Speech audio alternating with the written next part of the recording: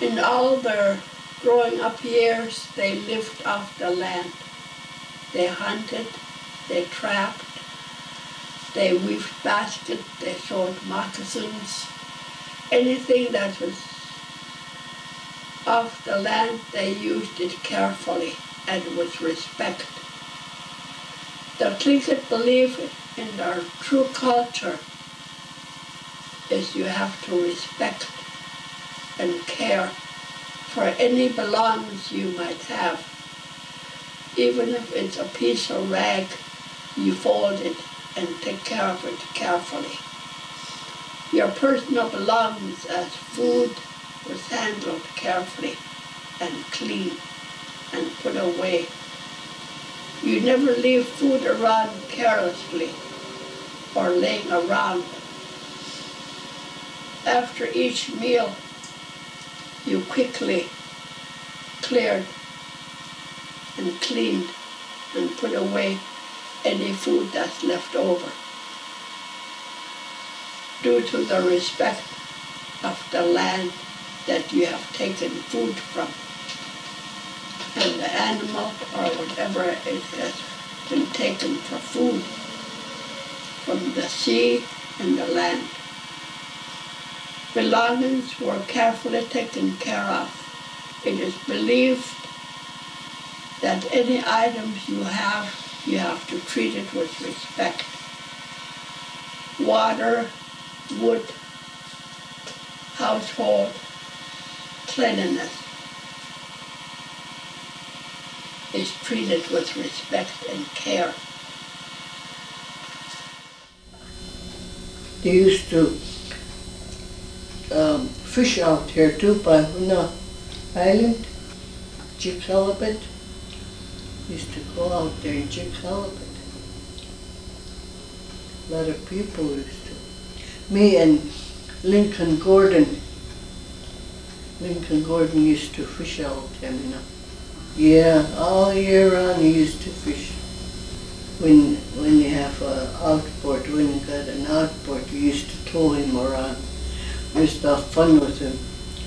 On the beach, you know, used to walk the beach, used to can and take clams.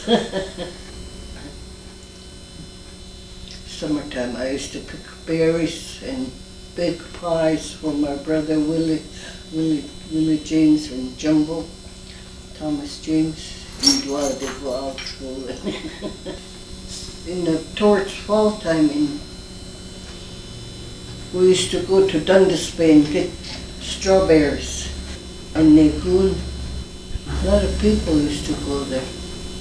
Long ways to walk, but it was a lot of fun. Yeah.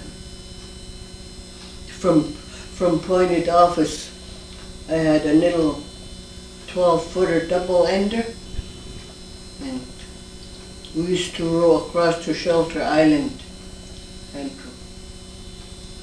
troll over there. One time I was trolling over there, Arthur used to um, troll on his trolling boat and I used to just hand troll, you know a whale chased me ashore. Gee, I sure got scared. I jumped off the boat to the beach and the whale came up right on the beach. had his big mouth open. Boy, I wouldn't go back on the boat anymore. I just stayed on the beach. we used to take William Shakely up to Glacier Bay. He used to row up there.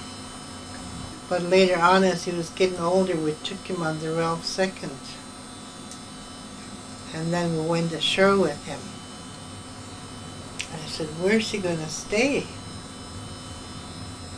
He's got a little pup tent where his feet sticks out. And I told Warren, doesn't the bear bother him? And he heard me. He said, I don't bother the bear, he don't bother me. I told him, I want some water.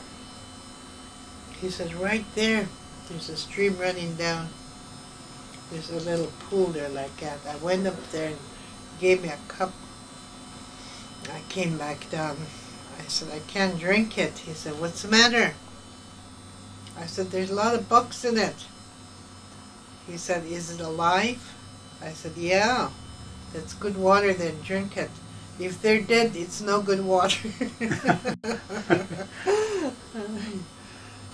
and he used to roll back down from up there.